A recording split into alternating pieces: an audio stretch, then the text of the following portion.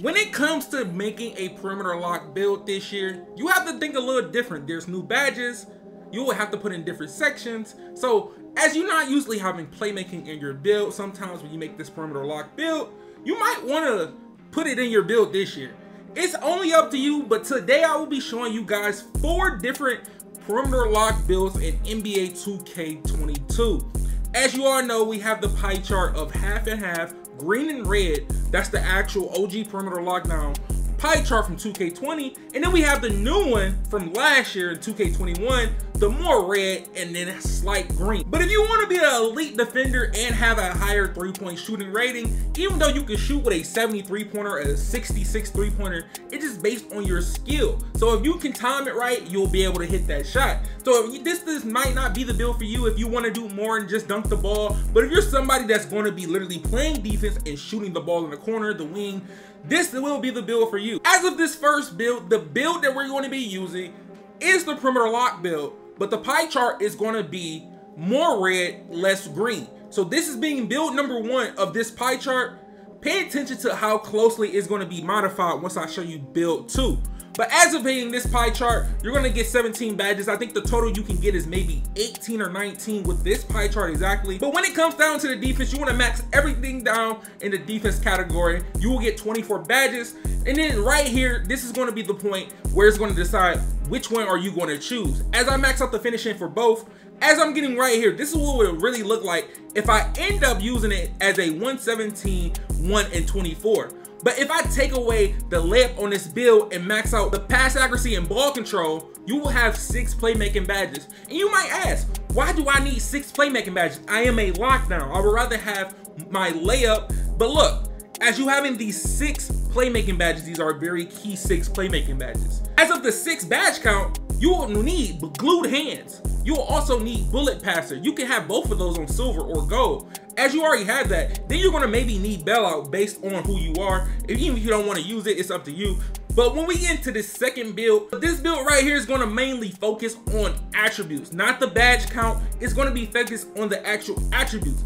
In the last build, we didn't have any driving layup, but we did have pass accuracy and ball control. But we did that to get a certain badge count.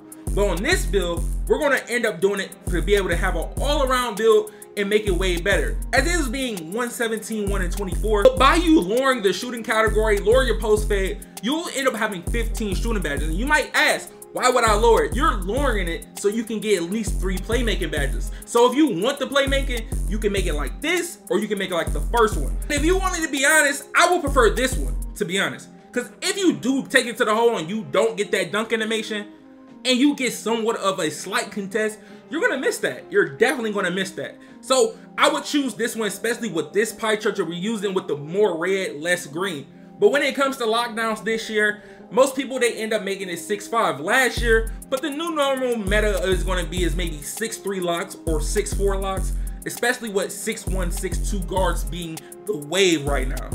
As of me making this build 6-4, the weight I'm gonna go with this is maybe around a 180, 181 range, but you can still get the 92 speed and you got a 90, 90 acceleration. That's not really gonna matter because you're not gonna be dribbling the ball. It's only gonna help when you get the ball you run. But when it comes to the wingspan, if you're going max wingspan, I prefer you to put lock badge on this. Put lock badge. Don't put playmaking put lock badge on this build. But with that concluding the first pie chart that I'm gonna show y'all boys, we get the name perimeter lockdown. But when I show you these next two builds with somewhat a similar pie chart, it's gonna actually surprise you. Even having Hall of Fame shooting on build three that I'm about to show you, it's going to surprise you that you're going to have the ability to get playmaking badges on this build as well, but you won't have to sacrifice as much as we had to do with the one with more defensive and less shooting. So as I'm going with the 50-50 pie chart, red, green, this is where we're gonna end up seeing, you will get less speed on this build because it's a slower build, it's less defense compared to what we just used. So as we're gonna end up using the speed pie chart, that'd be the best thing to use out of all of them, hands down. You're gonna end up messing with the king category. The main category is just straight defense. Defense is the main category. So you're gonna max everything out in defense no matter what. I don't care if you wanna knock three down, unless you have to do it to get a playmaking badge or try to get your finishing up. That would be the only reason I'm gonna do this. So look, as we got everything maxed out, we get 22. 22 defensive badges, and then I'm gonna max out everything and get 17. 17 is the sweet spot as well, like I told you. We can get 20 on this build, but we don't need 20. 17 to 15 is the sweet spot, because all you do is catch and shoot. Well, for my boys that's gonna end up putting some slashing into this build, and you know you're just catching and shooting, then when you got the opportunity to take it to the hole and dunk the ball, you now you got four finishing badges on the build. Now you got four of them things on your build, and then you can throw out the pass accuracy and just be able to still rock out with that. You could put it on shooting if you don't want no pass accuracy, but I'm telling you, pass accuracy is definitely going to be needed this year.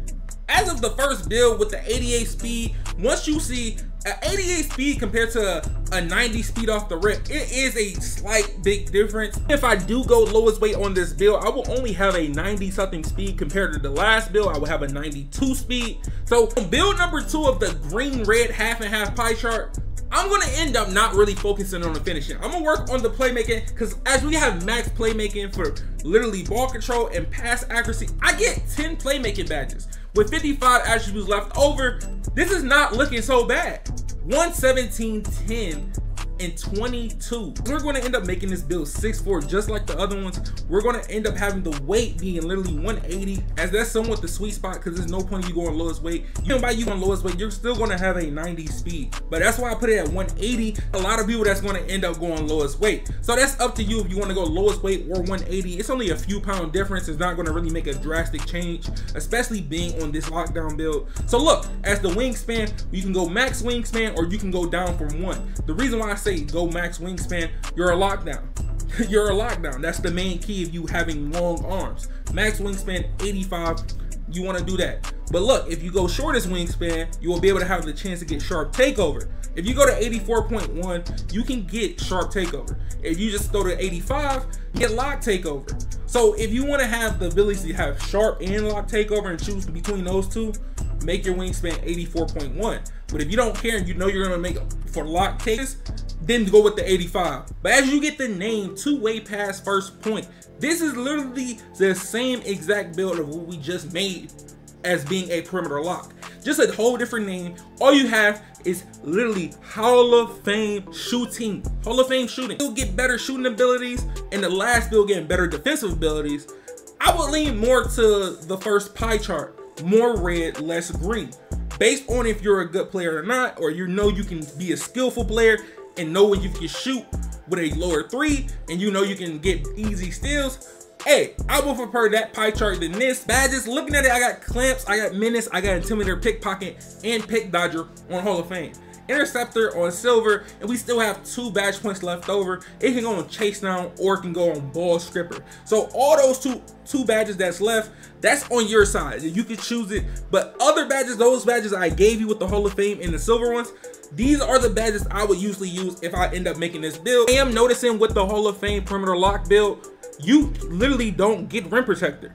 As I look at all those badges, you did not get rim protector. So that rim protector badge, it did come in handy. It did help when you did get a block. It did boost your takeover because it is hard to get lock take. But as we're at the playmaking badges, like I said, bullet passer on Hall of Fame, glued hands on silver. You could put it on pluckable on, or you could but glued hands on gold. But also, you could put it on silver and run bailout on bronze.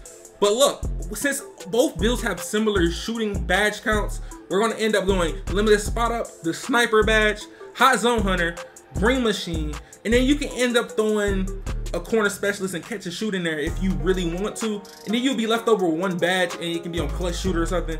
But if you guys who don't want corner specialist and catch and shoot, you can maybe put catch and shoot on silver, match expert, just in case a center do come jump out you at, if you at the corner or somebody who's taller than you, you can shoot over them somewhat guys got any questions in the comment section, let me know. Drop some comments down below about these builds. I hope y'all pick out which ones would cater to you if you want to make a decision out of the four builds I gave you. So make sure you drop a like if you're going to end up making this build. And it did help you out figure out which one you're going to make. I haven't yet, make sure you subscribe, click that bell, hit all so you can know when the next time I post a video and you don't miss build videos like this and all bangers that's coming in 22 this year. But it been your man ChaMoma. I hope y'all have a wonderful day. And I'm out, y'all. Peace.